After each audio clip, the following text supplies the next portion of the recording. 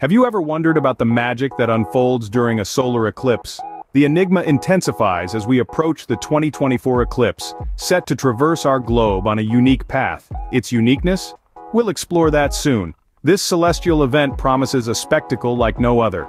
Imagine the sun, our source of light and life slowly being obscured by the moon. A spectacle begins as the moon takes its first bite out of the sun, initiating the partial phase of the eclipse. Gradually the vibrant daylight starts to dim, casting an otherworldly hue over the landscape. Shadows become sharper, as if the world has switched to high definition. The temperature drops subtly, a chill creeping into the air as the sun continues to vanish behind the moon.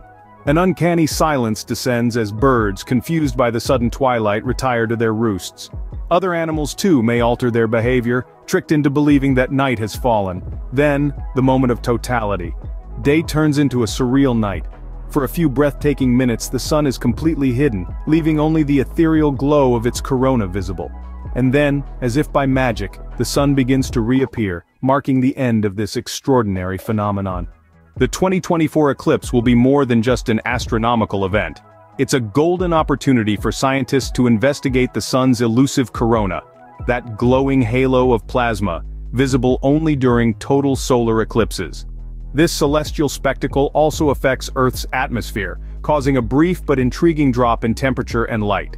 It provides a rare chance to study the impact of these changes on our planet. The 2024 eclipse will be a moment of unity, a moment for humanity to look up and marvel at the workings of our universe.